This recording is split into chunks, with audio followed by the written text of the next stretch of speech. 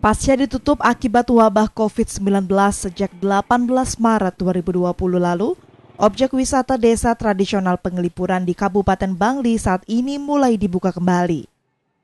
Objek wisata Pengelipuran telah dibuka sejak tanggal 17 Oktober 2020 kemarin dengan penerapan protokol kesehatan COVID-19, di mana para wisatawan yang berkunjung wajib untuk mencuci tangan, kemudian mengukur suhu tubuh dan menggunakan masker, sebelum masuk kawasan objek wisata serta menjaga jarak antar pengunjung.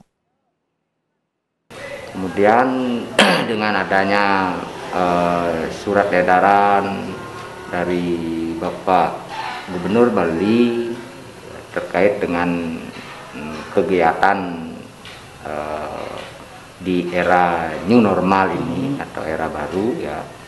Jadi kami pun sudah mulai membuka Desa Wisata Penglipuran sejak tanggal 17 Oktober tahun 2020 kemarin. Memang pariwisata dibuka secara umum, namun jangan lupa yang namanya penerapan protokol kesehatan uh, dengan 3M itu. Selain menerapkan protokol kesehatan COVID-19, pihak pengelola juga akan menerapkan sistem buka tutup saat terjadi lonjakan kunjungan untuk mengantisipasi kerumunan wisatawan dan penyebaran COVID-19. Iwayan Hobiana, Kompas Newata.